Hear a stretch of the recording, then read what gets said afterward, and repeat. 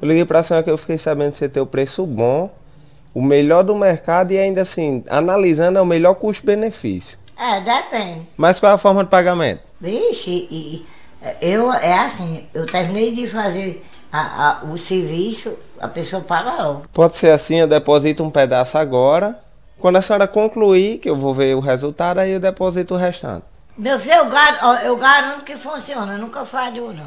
Dá certo mesmo? Mas qual é o tipo de serviço que o senhor está querendo? Não, eu quero mais eficaz. Por isso que eu liguei pra senhora. Tem vários. Assim, podia ser a senhora com uma máscara, assim, uma máscara bem. Quando eu vou trabalhar, é a minha cara mesmo. Mas eu tava querendo pra hoje. Pra hoje não dá certo não. Hoje é 31 de outubro. Tá tudo lotado.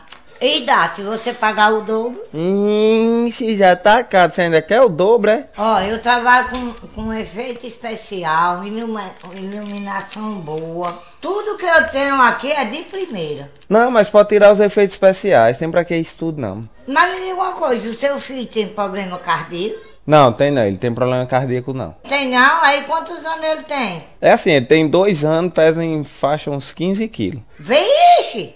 Dois anos? Não, dá certo pra mim não. Por quê? Eu não me responsabilizo pelo que acontecer com ele, não. Que é isso? Eu não tava contando com a senhora. Disse aí que a senhora é a melhor. Não, não, mas com isso, não se preocupe que eu tenho uma pessoa pra indicar.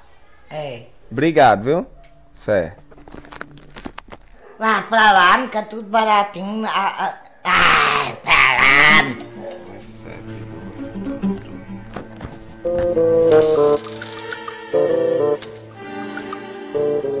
Alô? Monstro F.A., boa noite.